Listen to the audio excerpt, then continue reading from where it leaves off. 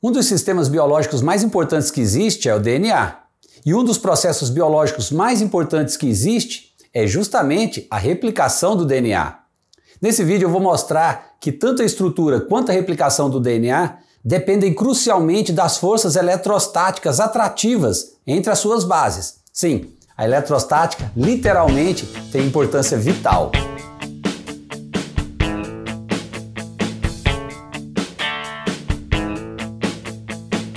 Bem-vindos ao Velho Científica. Eu sou Eudes Filete e aqui eu procuro mostrar a ciência de forma rigorosa, ilustrada, simplificada e mesmo assim muito rigorosa. Se você curte essa ideia, curta também esse vídeo e se inscreva no canal. O estudo da estrutura e do funcionamento de uma célula viva em nível molecular é conhecido como biologia molecular, um campo muito rico para aplicação da física. Como o interior de cada célula biológica é basicamente água, podemos imaginar uma célula como uma sopa de moléculas em movimento contínuo. Isso foi o que nós aprendemos aqui nesse vídeo sobre a teoria cinética molecular, onde nós vimos que as moléculas se movem sempre colidindo uma com as outras e trocando energia entre si. Além das colisões que são típicas em sistemas moleculares, as moléculas também interagem uma com as outras por meio de forças eletrostáticas que surgem entre seus átomos constituintes. Na verdade, os processos celulares são justamente devidos ao movimento de agitação molecular térmica dos sistemas biológicos em associação com o efeito de ordenação da força eletrostática. O exemplo mais notável disso, provavelmente, é a estrutura e a replicação do DNA. A imagem que temos do DNA e seus processos é, em última análise, um modelo baseado em teorias físicas. A informação genética que é passada de geração em geração em todas as células vivas está contida nos cromossomos, que contêm os genes. E cada gene contém as informações necessárias para produzir um típico específico de molécula de proteína, e essas informações são incorporadas à molécula principal de um cromossomo, o DNA, o ácido desoxirribonucleico.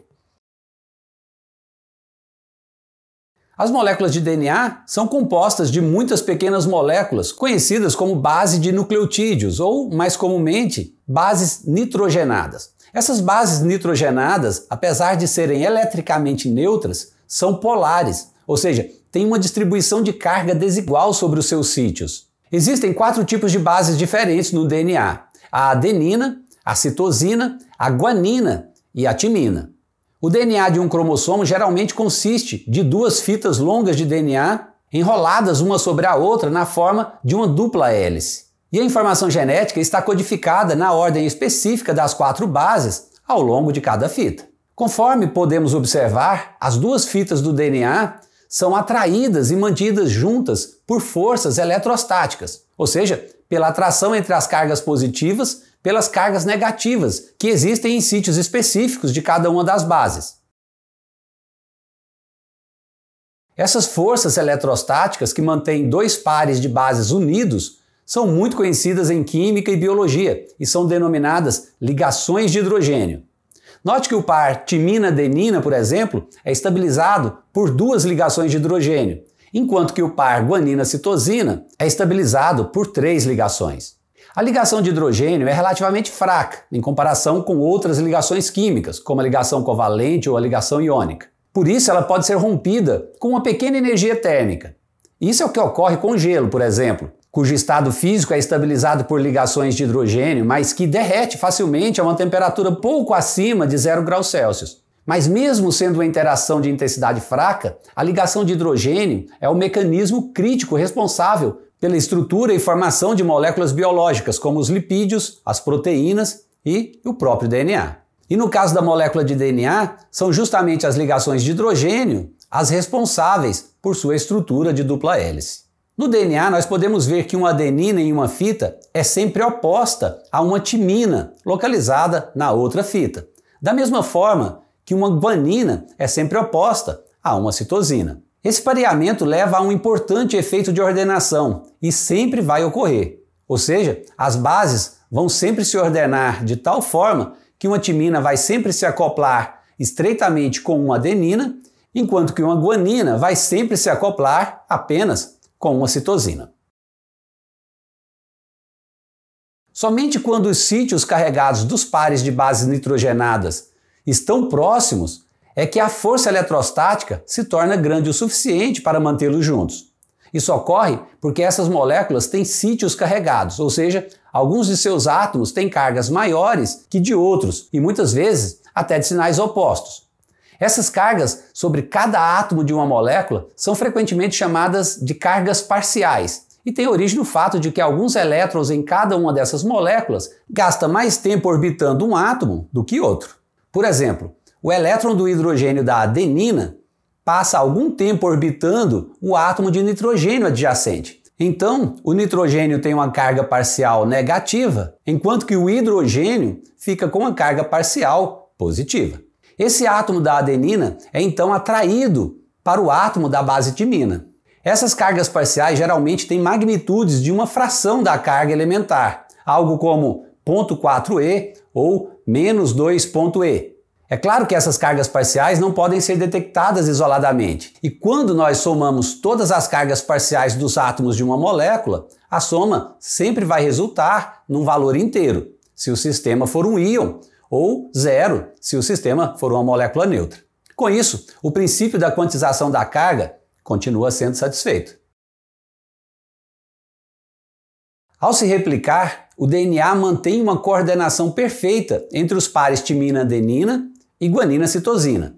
Isso é crucial para garantir que a informação genética seja passada com precisão para a próxima geração. Na replicação, as duas fitas de DNA se separam com a ajuda de enzimas, que também operam por meio de forças eletrostáticas, deixando expostas as partes carregadas das bases. E é sobre essas bases expostas, desemparelhadas, que uma outra enzima, a DNA polimerase, adiciona novas bases à fita crescente de DNA, uma por uma. Ela faz isso incorporando somente aquelas bases que são complementares àquelas que se encaixam perfeitamente à fita antiga. Considere, por exemplo, essa base guanina. O único nucleotídeo capaz de chegar perto dela a ponto de ser atraído eletrostaticamente por ela será uma citosina.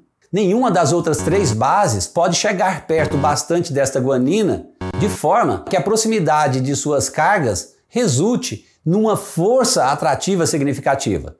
Lembre-se, a força eletrostática é dada pela lei de Coulomb e, portanto, diminui drasticamente com a distância. Como a guanina não atrai nem a adenina, nem a timina e nem outra guanina, essas bases vão sofrendo colisões com o meio até que elas se encaixem no seu devido sítio. Assim vemos que são as forças eletrostáticas as responsáveis por selecionar as bases na ordem adequada durante a replicação.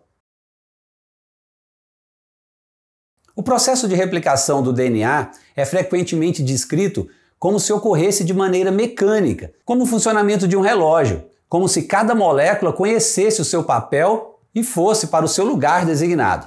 Mas esse não é o caso. As forças de atração, que são normalmente fracas, se tornam intensas o bastante quando as partes carregadas das duas bases têm formas complementares.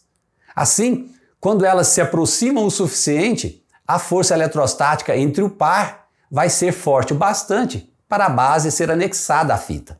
Se as formas moleculares não forem perfeitas, quase não haverá atração eletrostática, razão pela qual existem tão poucos erros no processo de replicação. A importância das forças elétricas nos processos biológicos atinge o seu auge na descrição da estrutura e replicação do DNA. Considerando que o DNA é o código da vida e que ele só existe e se replica devido às forças elétricas, podemos concluir que a eletrostática tem um papel vital para o mundo, tal qual conhecemos, e sem essas forças nem estaríamos aqui para contemplar esse fato. Se você gostou desse vídeo, dê um like e não saia do canal sem se inscrever. Tenha Verde Científica. Abraço e até a próxima!